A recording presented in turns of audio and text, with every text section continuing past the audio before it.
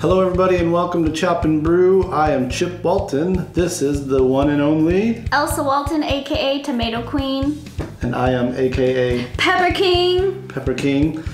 It's a marriage in salsa, is what we've got here. We've got tomatoes and peppers. Um, this has been a fan request uh, to do an episode about making salsa at home. We are by no means like the experts, Experts at all. or professionals, but it is something that we do a lot, especially during the summer and late summer. You can do it year round with store-bought tomatoes, but it's a it's especially awesome during the summertime. The video you're gonna see of the actual process we shot about two years ago and just kept not making it happen and not making it happen. But between our CSA and our garden this summer, we've had We have a bajillion tomatoes, so we've made a lot of salsa. So we're gonna run down super quick uh, how we make a red salsa, a green salsa, and then just as last weekend, good thing we didn't do the video before now. We made smoked salsa. We made a really killer smoked salsa, which I think is my favorite that we've ever done. It was really good. And we started making it at home mainly because we moved up here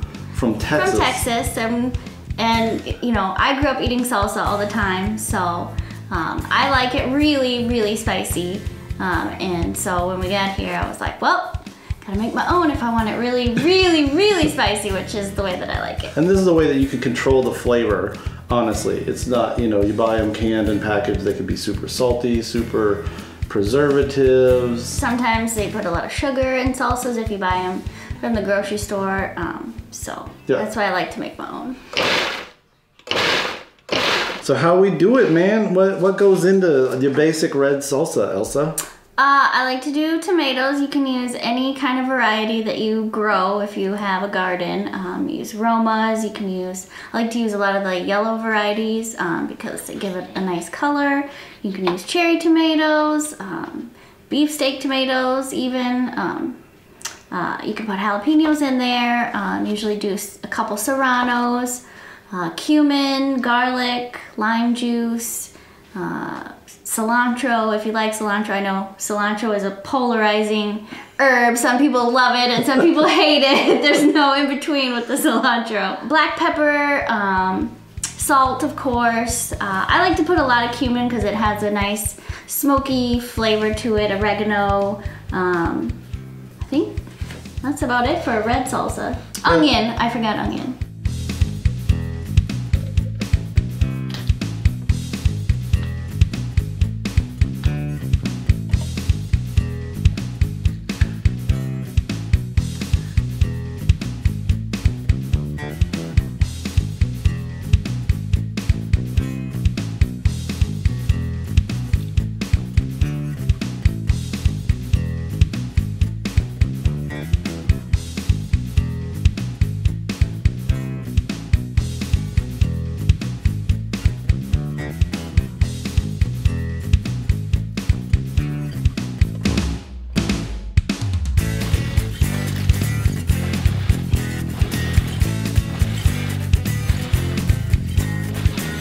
We should say the basic equipment you need is basically a food processor, a blender, or we've never done it this way, but you could do it in like a, a molcajete mm-hmm. or some kind of like mortar. Mortar and pestle. you could do it that way. Or I guess you could even just do like a super chunky one just by hand, but really the food processor is the, the way food to go. processor is the way to go. I wouldn't do it in a blender because then you'll get, it'll be too liquidy. Oh, really? You want a, a food processor because you can kind of blend it, but then if it's, can kind of pulse it so you're not over blending it, but you if you want it a little chunkier. So the red salsa that you're seeing in the video, um, Elsa basically did. It was mainly Roma tomatoes. You cut off the ends, and then you don't have to cut things super small, but you want them in chunks. You want to kind of chunk things up to put them in the food processor.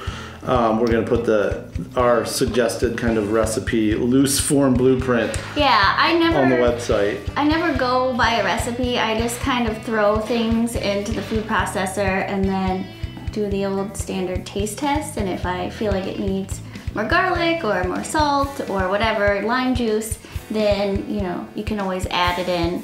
Um, but I'm never going by you know a set recipe. I just kind of eyeball it. Basically, we looked backwards at the video from two years ago, and I'm like, that looks about like a quarter of a teaspoon. That looks about an eighth of a teaspoon. So, um, but once you get all those chunks in, you're gonna pulse it a couple times, and the the consistency is really up to you. Do you want it chunky? Do you want it liquidy? We, we don't like ours super obliterated, but we also like for everything to be well incorporated. So you're Mm-hmm. gonna pulse, and once you do that, the layer of your, your the level of your tomatoes is obviously gonna decrease. Yeah, so if you're making a big batch, you can Do a second you dose. can put more tomatoes or more garlic or whatever in there um, to make a really big batch of salsa. How do our red salsas usually turn out? They're usually kind of sweet. The garlic is usually pretty strong with our I red like salsas. a lot of garlic and uh, like I said, I like cumin. it spicy, so I'll normally put two or three jalapenos, maybe a couple of serranos in there. We've done it with habanero, chocolate habanero. He grows all kinds of different varieties of peppers, so any peppers that you are growing, if you have a garden, you can use any spicy peppers or even bell peppers if you don't like it super spicy. Bell pepper will give it Hmm. kind of a sweetness, um, and then you can maybe throw in, like, if you don't like it too spicy, like half a jalapeno or something like that. Well, let's talk about the green one real quick. So our green salsa, we haven't grown tomatillos in a while, but this one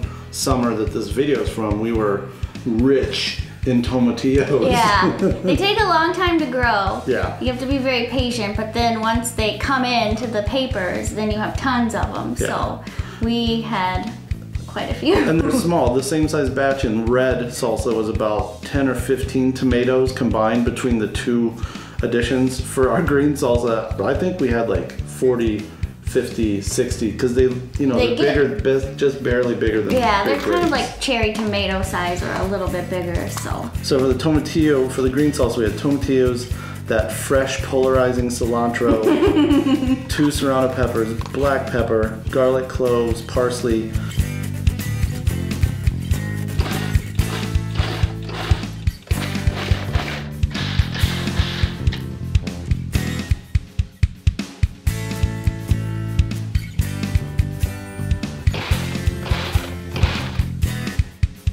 Oregano, salt, and our kind of secret ingredient to a green salsa is molasses. I don't know why. I just think with the tomatillo, Yeah. it pairs really well. It adds a nice color. It gets it a little more into kind of like a brown, less Mm-hmm. neon green, but it also does something with that richness of the sweet. Um, but you Mm-hmm. Can go overboard. So Yeah, so- start low. Start low, and then if you add a little too much, if you have extra tomatillos, throw extra in there to kind of Yeah. cut it back.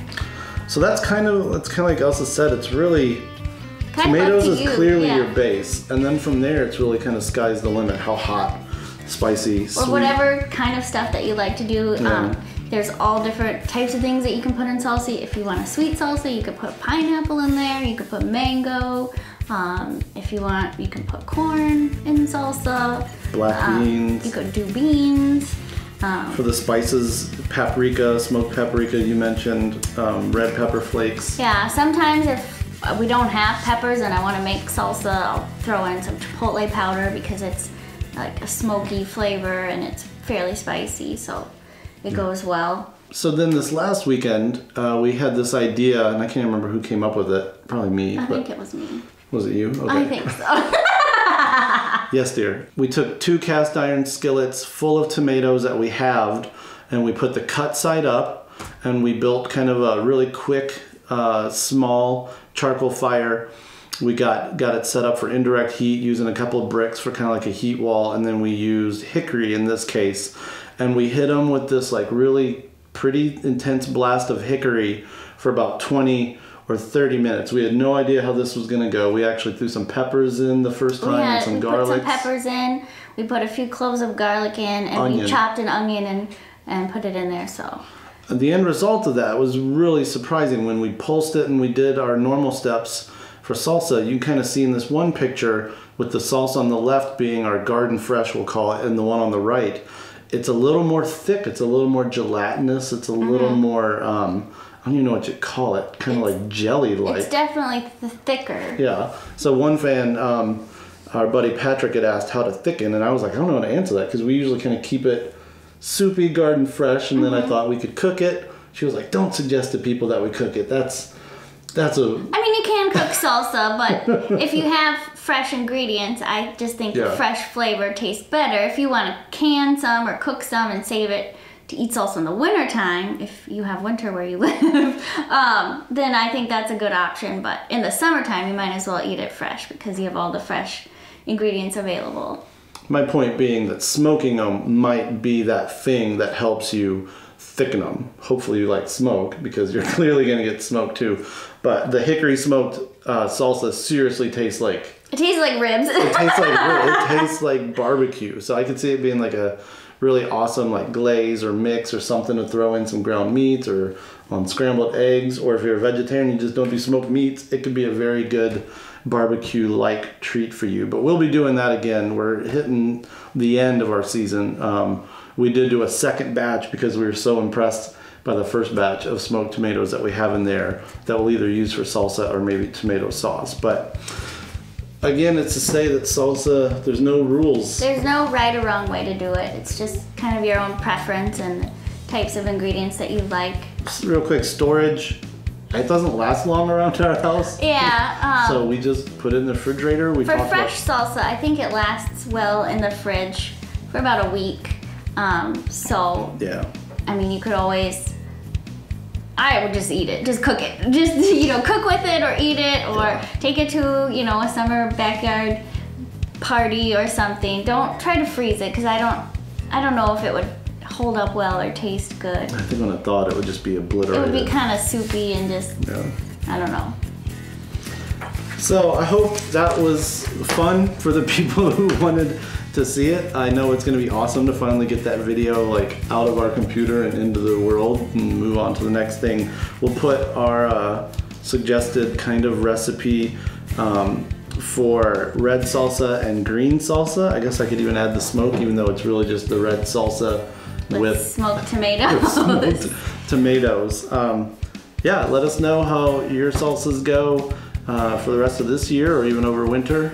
And chop for chop, brew for brew, chip for chip. chip for chip, salsa for salsa. Cheers. Cheers.